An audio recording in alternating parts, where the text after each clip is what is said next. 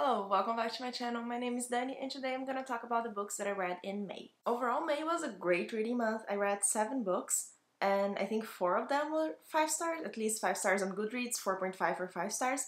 So really good. And then I had two 3.5 stars that I rounded up to four stars on Goodreads and one two stars that I really didn't like. So let's talk about them in the order that I least to most liked. I think that's a good plan. So we get the bad out of the way. So the book that I gave two stars this month and I really didn't like it was The Secret Garden by Frances Hodgson Burnett. This is a story about a girl who moved from India to England to live with her uncle and she's very, very spoiled. She's really not a nice girl. She doesn't have a parental figure ever in her life. I don't think she had one when she was in India, but I think her parents died. That's why she moved. There was a disease or I don't know. But she moved to England and the story already starts there and we're just following her doing nothing, growing plants in a garden.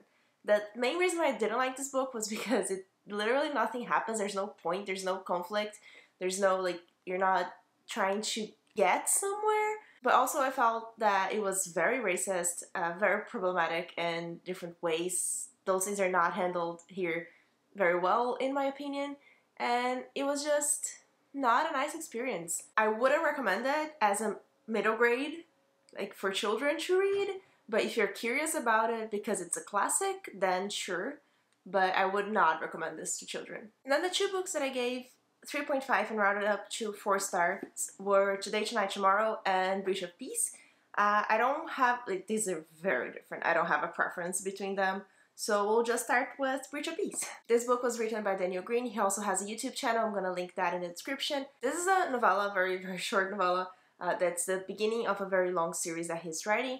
And it starts with these detectives, inspectors, they have different names here, but they're investigating a murder that happened in one of the royal families. So this is very much a murder mystery at the same time that is fantasy and it is in a different world from our own and it's very gory very brutal but i really enjoyed it. I think the characters were really cool and just overall the plot was very intriguing.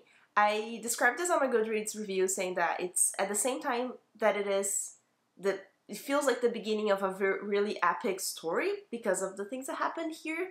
It also would work well if it's just a short story with no continuation because it would be just a mysterious thing that you don't have all the answers for at all, but you just like have that on the back of your mind, like what's what really happened. So I think it would work as a short story and just end there. Well, not a novella, I guess, but it it also really feels like the beginning of an epic story, and I'm really curious to continue. So the only thing that made me give it 3.5, I even rounded to 4, but I was really just confused about the world building. There's not a lot of explanation, which makes sense for a book this short, but I'm really curious to continue with the series and I'm really expecting it to go much deeper in the world building and all the things that happen here that I can't say because of the spoiler.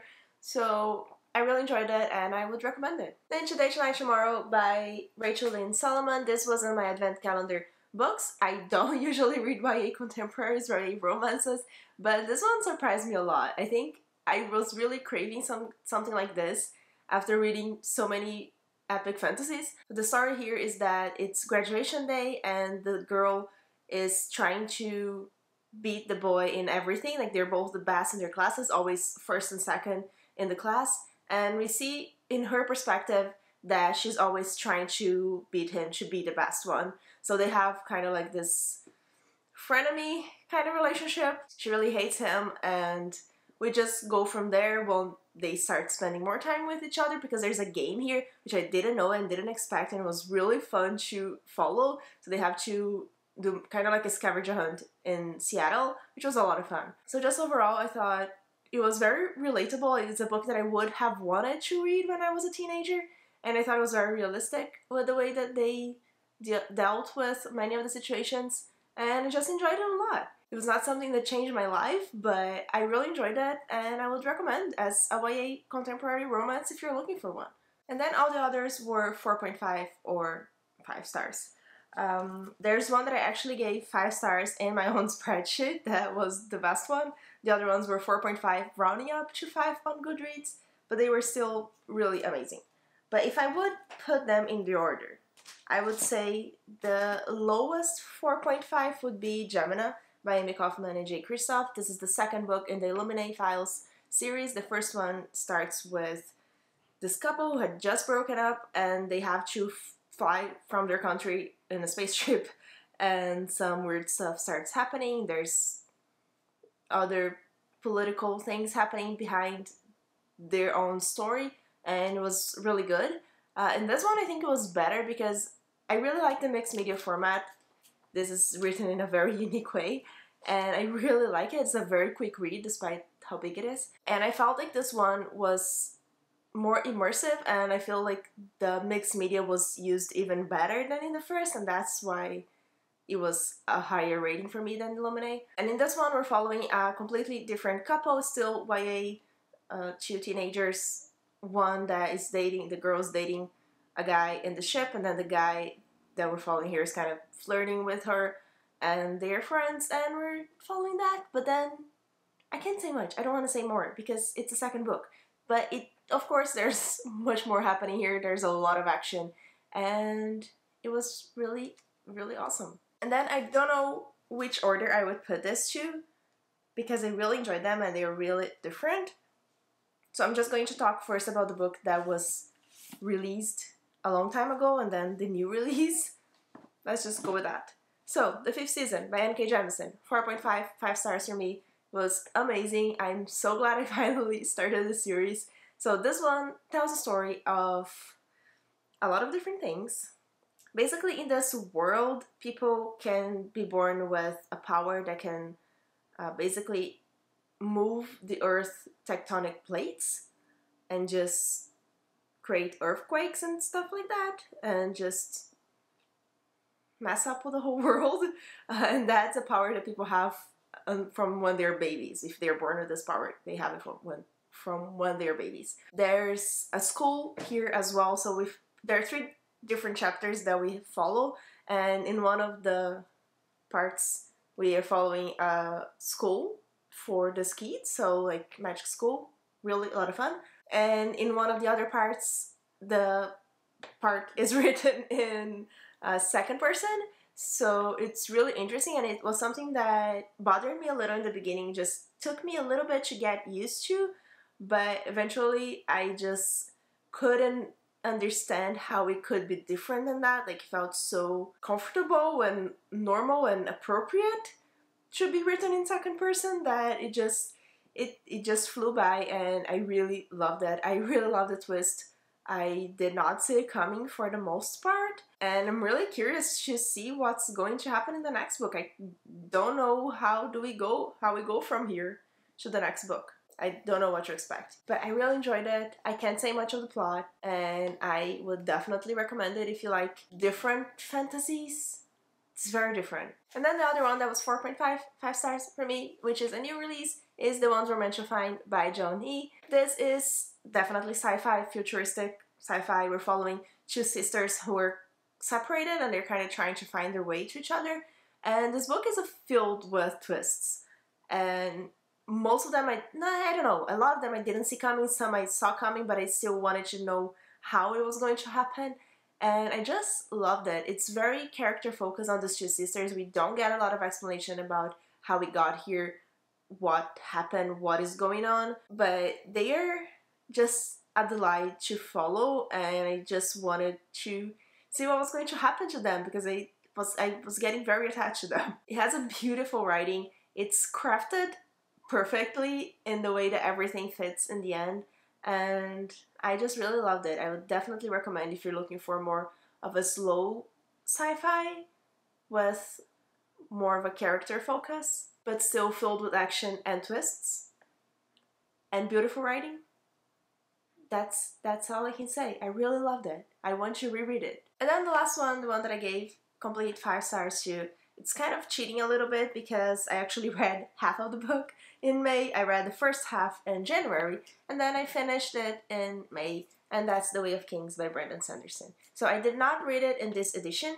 I read it on this one's, the special letterbound editions that I got on Kickstarter when he was doing the special 10 year anniversary of The Way of Kings. I read it on these editions and they are really, really nice. Have more images, more pictures, art than this one. Uh, the font is bigger and has more margins. Like it, the book, when you join both the books, it's 200 pages longer than this one because it there's just more space in the pages, more blank space. And it was just overall a very nice experience reading those editions, but now I will have to continue the series in the normal paperbacks, which are also nice. They're floppy, so that's that's what matters. But The Way of Kings, how can I explain what this is about? This is a very gigantic epic fantasy. The world is huge. We follow quite a few different characters mostly three, but then we have like chapters about other people that are in opposite ends of the world doing other stuff. But we mostly follow three people, we main people, Kaladin, Shallan, and Dalinar. And each of them are doing different, completely different things. They're not together. And we just follow it very slowly.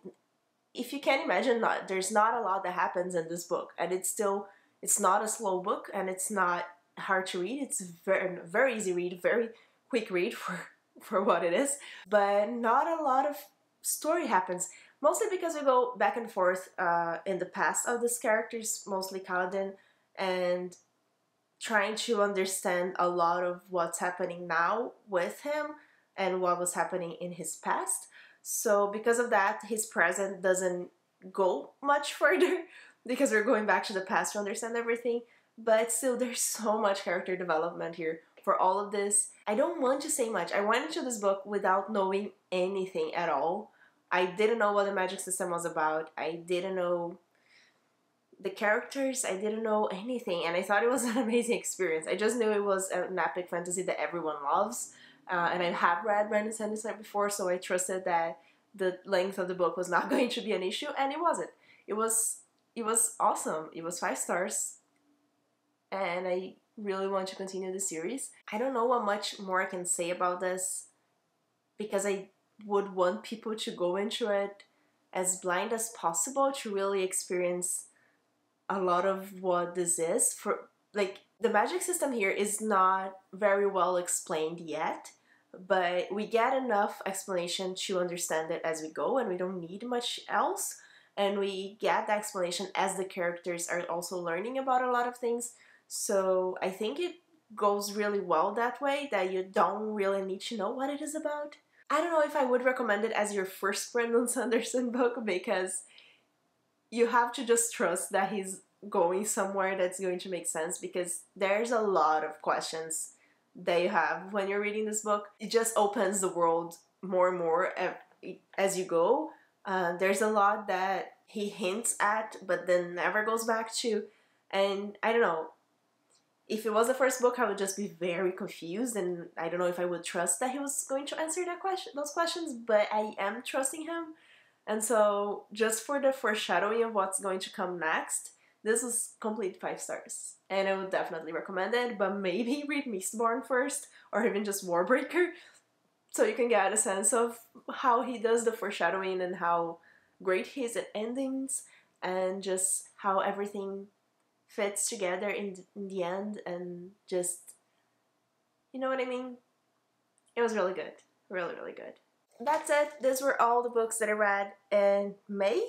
I actually read two of these were in my June TBR, but I read them in the end of the end of May, which were Today, Tonight, Tomorrow, and Breach of Peace. And yeah, it was a really great reading month. In June, I'm going to be reading The Eye of the World, the first book in the Wheel of Time series and also Red Rising by Pierce, Bro- Pierce Brown. Uh, I almost said Pierce Brosnan. No, Pierce Brown. There's a lot of cool things coming up, so do subscribe. And remember to like this video, and I hope you enjoyed that. And thank you so much for joining me.